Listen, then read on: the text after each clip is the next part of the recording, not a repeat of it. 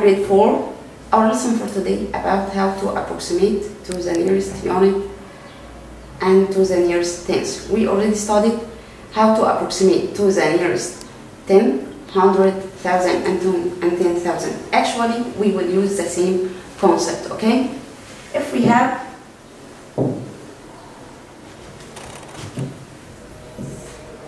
Okay, if we have a number like this,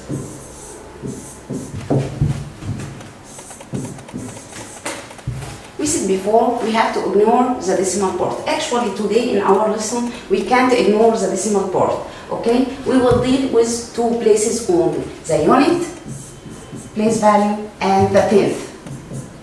And tenth. Don't forget to write th in this place value. And we said before we have two types of digits, okay? We have poor and rich. The poor digits are what? 0, 1, 2, 3, and 4. And the rich digits called what?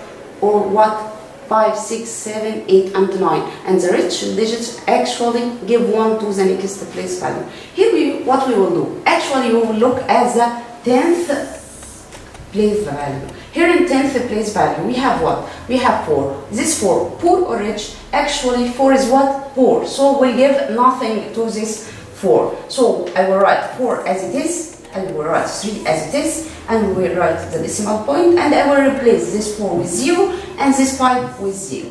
And we said before, if we have zeros after the decimal point, I can ignore it, because it's meaningless. So I will I will ignore it. So the answer will be only 34. Another example.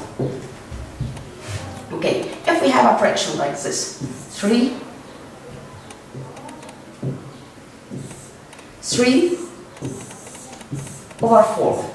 We said if you have a fraction like this before, ignore it. Actually, to approximate to the nearest unit or to the nearest tens, I can ignore the fraction or the decimal part. So what I will do, I need to convert this first to decimal, then I will approximate it. So to convert it to decimal, you have to do what? Actually, I have to convert this 4 to 10 or 100 or 1000. Can I convert it to 10? No, I can't. But I can convert it to 1 to 100. What I will do, I will times, make it times 25 down and times 25 up. So it will be what? It will be 75 over 100. Now, I can convert it to decimal. So it will be what? It will be, here I have two zeros, and here up I have two digits. So it will be 0.75. Now we have a decimal number. Can I convert it to, uh, can I approximate it? Yes, I can approximate. Approximate to the nearest what? To the nearest unit. Where is the unit? The unit here is 0. And here I have in the 10th, 7. 7 here, poor or rich. 7 actually is what? Rich. So we'll give this 0, 1. So this 0 will be 1. And I will write here the approximation sign, don't forget it. Here 0 will be 1 and then decimal point and we'll replace 0 with, uh, 7 with 0 and 5 with 0. We said we can ignore it. If you want to write it, okay. If you want to write 1 only, it will be okay too. So here I have some solved examples. Let's see. Here, approximate each of the following numbers to the nearest unit. If I have here 10.1, what I will do? Here in units we have 0 and 10th place value we have 1. 1, ask yourself, 1, poor or rich? Actually 1 is what? This one is what? Is poor. So we'll give not well to 0. So 0, I will write it as it is. And I will write this one as it is. So it will be 10. The next one, 7 uh, over 10. Here I have to convert this fraction to decimal. Actually here in the denominator 10. So I can write it in decimal. It will be here we have 0 with 1 with uh, 10 with 1 0 and here up 1 digit. So it will be O or 0.7. Here in 10th place value we have 7 and unit we have 0. Ask yourself, is this 7 poor or rich? Actually 7 is what is rich. We'll give 1 to 0. So this 0 will be 1 and I will replace this 7 with 0 so I can ignore it as we said before. The next one 624.09 here I have in the unit 4 but in tens we have what? We have 0 so 0 4 will give not to this 4 so it will be 624 the last one here 1 over 8 1 over 8. Can I convert it to decimal? Ask yourself, can I convert it to decimal? Actually, I can. I can convert this 8 to 1000. What I will do, I will make it times 125. 125 down and 125 up. So it will be 125 over 1000. Now can I write it, in, I can write it in the decimal form. So it will be 0.125. Ask yourself, here in tenths we have what? In tenths we have 1, in units we have 0. This one, poor or rich, poor, so we'll give none to 0. So the approximation will be what? Will be 0. Another type of questions, approximate to the nearest kilogram. If he asked you to approximate to the nearest kilogram, to the nearest meter, to uh, pound or, uh, or LE, all of them mean what? All of them mean approximate to the nearest unit. All of them have the same meaning. So, but you have to remember that one, uh, 100 centimeter equal 1 meter and 1000 meter equal 1 kilometer and one else and 100 piasters equal what? Equal 1 pound and already we studied this before. Here, the first one, if we have here a number like this, 9,745,312 centimeter and I need to convert it to kilometer to convert from centimeter to kilometer, you have to divide. Divide over what? Divide over 100,000. So here I have how many zero? 1, 2, 3, 4, 5. So I will put the decimal point after 5 digits from the right. After count 1, 2, 3, 4, 5. So it will be between 4 and 7. So it will be 97 point and I will write the same digit as it. Now I convert it to kilometer. Can I approximate it? Yes. Approximate it to the nearest what? To the nearest unit. So in unit here we have 7. And tenth we have what? We have 4. Ask yourself. 4, poor or rich? Actually 4 is what? Is poor. So we'll give not to 7. So the approximation will be only 97 kilometer.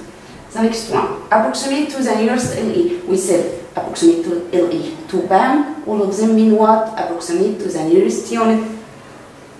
Here we have PT, that means piasters. If we have here 569,425, uh, how I approximate it? First, you need to convert from PE, from piasters to livre Egyptian. So you will do what? You have to divide over what? Over 100. So you will put the decimal point here between 4 and 2. And then approximate. Approximate to what? To the nearest unit. Here we have 2 in tenth. So we'll give not to 4. So the result, the approximation will be 5,694. That's it. The second part of our lesson actually how to approximate, uh, okay, I'm sorry, we have, I missed one. But the second part in our lesson is how to approximate to the nearest tenth. We will use the same concept. If I have a number like this,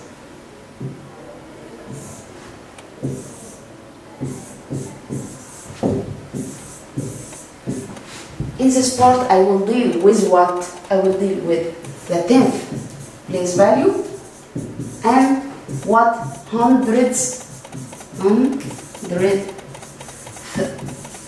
hundred. Don't forget to write TH on both of them. Hundreds place value. What I will do? I will look at the hundreds. If I have poor or rich in hundreds place, poor will give nothing, two tenth.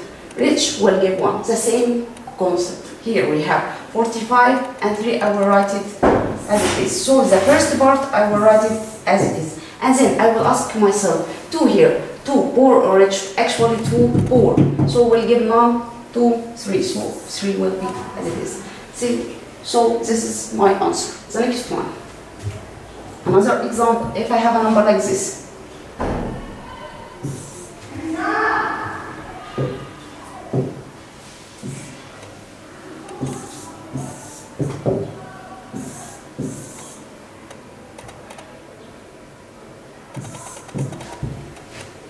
Here, in the tenth, I have zero. This is tenth. What Actually, I have also four digit, and this four digit will give what? Will give nothing to zero. So I will write seven as it is, and the decimal point as it is, and I will write what? Zero. I will replace this 3 and this 7 with 0. And we said before, after or before the decimal point in the right side, if we have 0, I can ignore it. So the answer here will be 7 only. That's it. And now we will see some solved examples in this part.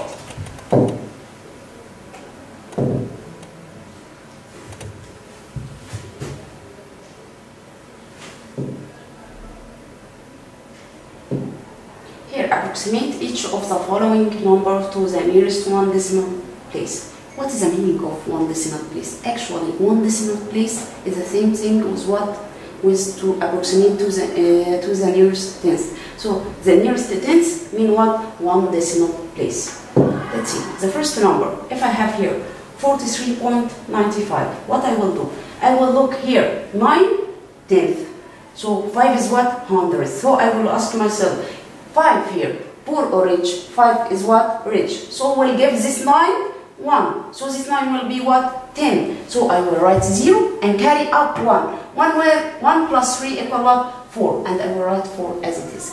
So here it will be 44. The next example, 121.005. Here I have in the 10th place value I have 0. And in the hundreds also I have 0. So 0 is poor. So both of them will be zeros. So the result will be 121. The last one, if I have here fraction, mixed number, here I have whole and proper fraction, what I will do?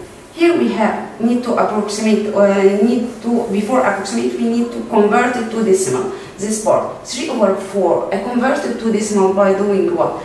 Time is um, 24, uh, 25 down and time is 25 up. So here it will be 449 and uh, 75 over 100. So it will be 449.75. What I did, I uh, times 25 up and 25 down to convert it to decimal. And here the result will be 449.75. Can I approximate it now? Yes. In the tenth we have 7 and in the hundreds we have 5.